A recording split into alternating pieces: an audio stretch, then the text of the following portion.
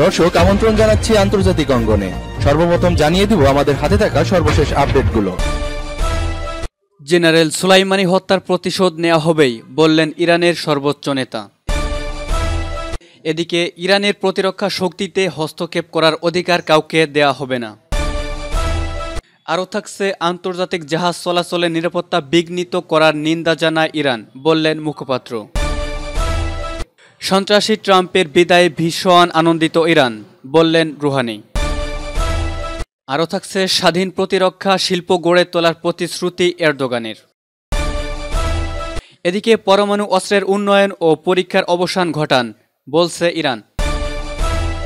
সর্বশেষ জানিয়ে দিচ্ছি, পারমাণবিক চুক্তি নিয়ে বিশ্ব শক্তির সঙ্গে আলোচনায় ইরান।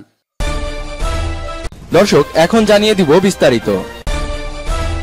জেনারেল সুলাইমানি হত্যার প্রতিশোধ নেওয়া হবেই বললেন ইরানের সর্বোচ্চ নেতা। ইসলামী প্রজাতন্ত্র ইরানের সর্বোচ্চ নেতা আয়াতুল্লাহিল উজমা খামিনি বলেছেন, ইসলামী বিপ্লবী গার্ড বাহিনী বা আইআরজিসির কুদুস ফোর্সের প্রধান জেনারেল কাসেম সুলাইমানির হত্যার প্রতিশোধ নেওয়া হবে। হত্যার নির্দেশদাতা ও এর সঙ্গে জড়িতদের বিচার করা হবে। আজ শহীদ জেনারেল কাসেম সুলাইমানি ও আবু মাহাদি আল মুহান্দিসের পরিবারের সদস্যরা সর্বোচ্চ নেতার সঙ্গে সাক্ষাৎ করতে গেলে তিনি কথা বলেন। সর্বোচ্চ নেতার সঙ্গে এই বৈঠকে কাসেম সুলাইমানির কয়েকজন সহযোদ্ধা এবং শাহাদাত বার্ষিকী উদযাপন কমিটির সদস্যরাও যোগ দিয়েছিলেন। শহীদ সুলাইমানির শাহাদাতের প্রথম বার্ষিকীতে সামনে রেখে এই বৈঠকের আয়োজন করা হয়। সর্বোচ্চ নেতা আরও বলেন কাশেম সুলাইমানি হচ্ছেন জাতীয় বীর। তিনি শুধু ইরান নয়, গোটা মুসলিম উম্মার মহান বীর। আয়াতুল্লাহিল উজমা খ্যামিনি বলেন, শহীদ সুলাইমানি ছিলেন সাহসী, প্রতিরোধী, বিজ্ঞ, আত্মত্যাগী এবং মানবপ্রেমী। তার মাঝে ছিল আধ্যাত্মিকতা ও আল্লাহর প্রতি আনুগত্য। কিন্তু তিনি কখনোই অন্যকে দেখানোর জন্য বা প্রদর্শনের জন্য কিছুই করতেন না। তিনি বলেন, জীবিত ও শহীদ উভয় অবস্থায় সুলাইমানি সাম্রাজ্যবাদীদের জন্য পরাজয় ডেকে এনেছে। ইরাক ও ইরানে শহীদ সুলাইমানি ও শহীদ মুহান্দিসের শোকানো অনুষ্ঠানে লাখ লাখ মানুষের উপস্থিতি সাম্রাজ্যবাদীদের নরম যুদ্ধের জেনারেলদেরকে হতভম্ব করে দিয়েছে। সর্বোচ্চ নেতা বলেন, এটি ছিল আমেরিকার গালে চরম চপেটাঘাত। এরপরে ইরাকে মার্কিন ঘাঁটি আইন আল আসাদে ক্ষেপণাস্ত্র হামলার মাধ্যমে আরেকটি চপেটাঘাত করেছে ইরান। এর চেয়েও বড় চপেটাঘাত হচ্ছে সফটওয়্যারের মাধ্যমে সাম্রাজ্যবাদীদের ফাঁকা অহংকার চোরমার করে দেওয়া। এর জন্য বিপ্লবী তরুণ সমাজ ও মুমিন মতি ভাবানাদের উদ্বেগ ও সাহসিকতা প্রয়োজন। এই এই শক্ত চপেটাঘাতের আরেকটি অংশ হলো এই অঞ্চল থেকে মার্কিনীদের বিতাড়িত করা। এর জন্য বিভিন্ন জাতি সাহসিকতা এবং প্রতিরোধমূলক নীতি প্রয়োজন। সূত্র পার্স টুডে ইরানের প্রতিরক্ষা শক্তিতে হস্তক্ষেপ করার অধিকার কাউকে দেয়া হবে না। ইরান হুঁশিয়ারি উচ্চারণ করে বলেছে দেশটির প্রতিরক্ষা ক্ষমতায় হস্তক্ষেপ করার অধিকার কোনো দেশ বা শক্তিকে দেওয়া হবে না। ইরানের সংসদের জাতীয় নিরাপত্তা ও পররাষ্ট্রনীতি বিষয়ক কমিশনের চেয়ারম্যান মুস্তবা জুন্নুরি এ হুঁশিয়ারি উচ্চারণ করেছেন। তিনি গতকাল বার্তা সংস্থা ইরান প্রেসকে দেওয়া এক সাক্ষাৎকারে বলেন, ইরান দু সালে ছয় জাতিগোষ্ঠীর সঙ্গে ইরান যে পরমাণু সমঝোতা স্বাক্ষর করেছিল, তাতে এমন কোনো কথা লেখা ছিল না, যার ভিত্তিতে তেহরানকে তার প্রতিরক্ষা সক্ষমতা কিংবা মধ্যপ্রাচ্যে ইরানের প্রভাব সম্পর্কে আবার আলোচনায় বসতে হবে। তিনি বলেন, ওই সমঝোতায় শুধুমাত্র ইরানের শান্তিপূর্ণ কর্মসূচি সংক্রান্ত বিষয়াদি স্থান পেয়েছে। কাজেই ইরানের প্রতিরক্ষা শক্তি কিংবা এই অঞ্চলে ইরানের প্রভাব নিয়ে কারও সঙ্গে কোনো আলোচনায় বসবে না তেহরান। ইরানের এই সিনিয়র সংসদ সদস্য বলেন, তার দেশ এখন পর্যন্ত পরমাণু সমঝোতায় নিজের দেয়া প্রতিশ্রুতি বাস্তবায়ন করেছে। কাজেই এখন অন্য পক্ষগুলোকে এটি বাস্তবায়ন করতে হবে। ইরানের সঙ্গে পরমাণু সমঝোতা স্বাক্ষরকারী দেশগুলোর এক্ষেত্রে দর কষাকষি করার কোনো সুযোগ নেই, তিনি মন্তব্য করেন।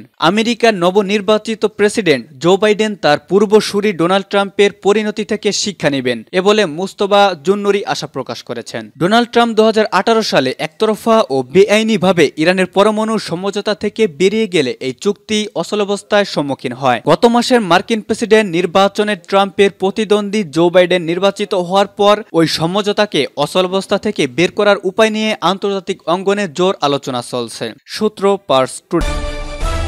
আন্তর্জাতিক জাহাজ চলাচলে নিরাপত্তা বিঘ্নিত করার নিন্দা জানায় ইরান। বললেন মুখপাত্র, সাগরে জাহাজ চলাচল ও আন্তর্জাতিক বাণিজ্যের নিরাপত্তা বিঘ্নিত করার যে কোনো প্রচেষ্টার নিন্দা জানিয়েছে ইরান। ইরানের পররাষ্ট্র মন্ত্রণালয় মুখপাত্র সাইয়েদ হাতিব জাদে গতকাল তেহরানের সাংবাদিকদের সঙ্গে আলাপকালে এ নিন্দা জানান। গত সপ্তাহে লোহিত সাগরে একটি তেল ট্যাঙ্কারে বিস্ফোরণ ও আগুন ধরে যাওয়ার ঘটনার ব্যাপারে সাংবাদিকদের প্রশ্নের উত্তরে তিনি বলেন, মধ্যপ্রাচ্যের নিরাপত্তা ও স্থিতিশীলতা রক্ষা করার প্রয়োজনীয়তা যে ইরান বহুদিন ধরে বলে আসছে, তেল ট্যাঙ্কারে আগুন লাগার ঘটনায় সে কথা আবারও প্রমাণিত হয়েছে। মধ্যপ্রাচ্যে টেকসই নিরাপত্তা প্রতিষ্ঠা করার জন্য তিনি সাগরে চলাচলকারী জাহাজের নিরাপত্তা রক্ষা করা, জলদস্যুদের বিরুদ্ধে যুদ্ধ করা এবং নিষিদ্ধ পণ্যের বাণিজ্য প্রতিহত করার জন্য এই অঞ্চলের দেশগুলোর প্রতি আহ্বান জানান। ব্রিটেনের সাগর নিরাপত্তা বিষয়ক কোম্পানি আম্বারি গত বুধবার ঘোষণা করে, সৌদি আরবে আশরাফিক বন্দরে মাইনের সঙ্গে ধাক্কা লেগে গ্রিসের মালিকানাধীন একটি তেল ট্যাঙ্কারে আগুন লেগে যায়।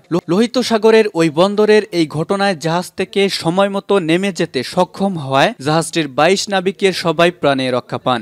ইরান বলছে, এ ধরনের ঘটনার পুনরাবৃত্তি রোধে মধ্যপ্রাচ্যের দেশগুলোর মধ্যে সহযোগিতা জরুরি, সূত্র পার্স টুডে। সন্ত্রাসী ট্রাম্পের বিদায় ভাষণ আনন্দিত ইরান, বললেন রুহানি। ইসলামী প্রজাতন্ত্র ইরানের প্রেসিডেন্ট হাসান রুহানি বলেছেন, মার্কিন প্রেসিডেন্টের পদ থেকে সন্ত্রাসী ডোনাল্ড ট্রাম্পের অবসান হতে দেখে খুশি হয়েছে তার দেশ। একই সঙ্গে তিনি দাবি করেছেন, তবে জো বাইডেনকে ক্ষমতায় আসতে দেখে উল্লসিত নয় ইরান। বুধবার টেলিভিশনে সম্প্রচারিত মন্ত্রিসভার এক বৈঠকে ট্রাম্পকে পাজি এবং যুক্তরাষ্ট্রের সবচেয়ে বেশি আইন অমান্যকারী ব্যক্তি আখ্যা দেন ইরানের প্রেসিডেন্ট। কাতার ভিত্তিক সংবাদ মাধ্যম আল জাজিরার প্রতিবেদন থেকে এসব তথ্য জানা গেছে। দু হাজার পনেরো সালে ছয় বিশ্বশক্তির সঙ্গে ইরানের স্বাক্ষরিত পারমাণবিক চুক্তি থেকে দু হাজার আঠারো সালে যুক্তরাষ্ট্রকে বের করে দেয় প্রেসিডেন্ট ডোনাল্ড ট্রাম্প। একই সঙ্গে ইরানের ওপর মার্কিন নিষেধাজ্ঞা পুনর্বহাল করেন তিনি। এর এক বছরের মাথায় চুক্তির মূল সতর্কগুলো এবং এর শর্তগুলো থেকে সরে আসতে শুরু করে ইরান। যদিও দেশটির প্রেসিডেন্ট হাসান রুহানি এবং নতুন নির্বাচিত মার্কিন প্রেসিডেন্ট জো বাইডেন উভয়ই পারমাণবিক চুক্তিটি বহাল রাখার আশা প্রকাশ করেছেন। স্বাধীন প্রতিরক্ষা শিল্প গড়ে তোলার প্রতিশ্রুতি এরদোগানের। তুর্কি প্রেসিডেন্ট রিসেপ তাইয়েব এরদোগান বলেছেন, রুশ আকাশ প্রতিরক্ষা ব্যবস্থা কেনায়। ঘটনায় মার্কিন নিষেধাজ্ঞা তুরস্কের সার্বভৌমত্ব ও প্রতিরক্ষা শিল্পের ওপর শত্রুপক্ষীয় হামলা। তবে তাদের এই উদ্বেগ ব্যর্থ হতে যাচ্ছে। বার্তা সংস্থা রয়টার্স ও এএফপি এর খবরে এমন তথ্য মিলেছে। ন্যাটো মিত্র তুরস্কের প্রতিরক্ষা শিল্প অধিদপ্তর ও তার প্রধান ইসমাইল দেমি সহ তিন কর্মকর্তার ওপর নিষেধাজ্ঞা আরোপ করেছে ওয়াশিংটন। এরপর প্রথমবারের মতো জনসম্মুখে এসে এরদোগান বলেন, নিষেধাজ্ঞা উদ্ভিত্ত সমস্যা কাটিয়ে ওঠা যাবে। এ সময় একটি স্বাধীন প্রতিরক্ষা শিল্প গড়ে তোলার প্রতিশ্রুতি দেন তিনি। ন্যাটো মিত্রকে শাস্তি দেওয়ায় ওয়াশিংটনের সমালোচনা করে তিনি আরও বলেন, এটি কি ধরনের জোট? কি ধরনের অংশীদারিত্ব? এটা আমাদের দেশের সার্বভৌমত্বে শত্রুপূর্ণ হামলা ছাড়া আর কিছুই নয়। তাদের আসল লক্ষ্য হচ্ছে আমাদের প্রতিরক্ষা খাতে সম্প্রতি শুরু হওয়া ও অগ্রগতি থামিয়ে দেওয়া। আমাদেরকে তাদের উপর সম্পূর্ণ নির্ভরশীল করে তুলতে চায় তারা? তিনি জানান, আমাদের প্রতিরক্ষা শিল্পকে স্বাধীনভাবে গড়ে তুলতে দ্বিগুণ পরিশ্রম করব। প্রতিরক্ষা শিল্প সংস্থাগুলোর প্রকল্পগুলো ত্বরান্বিত করব। প্রতিরক্ষা সংশ্লিষ্ট কোম্পানিগুলোকে আরও বেশি সমর্থন দেব। এর আগে গত জুলাই মাসেও মার্কিন এফ পঁয়ত্রিশ যুদ্ধবিমান ও তার যন্ত্রাংশ নিষিদ্ধ করে তুরস্ককে শাস্তি দিয়েছে ওয়াশিংটন। পরমাণু অস্ত্রের উন্নয়ন ও পরীক্ষার অবসান ঘটান, বলছে ইরান। আন্তর্জাতিক আণবিক শক্তি সংস্থা বা আইএইএ তে নিযুক্ত ইসলামী প্রজাতন্ত্র ইরানের স্থায়ী প্রতিনিধি কাজেম গরিবাবাদী পরমাণু অস্ত্রের উন্নয়ন ও পরীক্ষার অবসান ঘটানোর জন্য পরমাণু শক্তিধর দেশগুলোর প্রতি আহ্বান জানিয়েছেন। তিনি বলেছেন, পরমাণু নিরস্ত্রীকরণের ক্ষেত্রে এটা হচ্ছে এটা হচ্ছে প্রথম পদক্ষেপ। অস্ট্রিয়ার রাজধানী ভিয়েনায় comprehensive nuclear test ban treaty বা সিটিবিটি এর প্রস্তুতি কমিশনের পঞ্চান্নতম অধিবেশনে দেয়া বক্তৃতায় কাজেম গরিবাবাদী এসব কথা বলেন। এ সময় তিনি পূর্ণাঙ্গ পরমাণু নিরস্ত্রীকরণের পক্ষে ইরানের দীর্ঘস্থায়ী অবস্থানের কথা তুলে ধরেন। পরমাণু নিরস্ত্রীকরণে বিষয়ে আমেরিকার দৃষ্টিভঙ্গির সমালোচনা করেন ইরানি প্রতিনিধি। পাশাপাশি মার্কিন সরকার যে পরমাণু অস্ত্রের পরীক্ষা চালাচ্ছে, তাতে তিনি উদ্বেগ প্রকাশ করেন। আমেরিকার এই পদক্ষেপ আন্তর্জাতিক শান্তি ও নিরাপত্তাকে বাধাগ্রস্ত করছে বলে মন্তব্য করেন কাজেম গরিবাবাদী সূত্র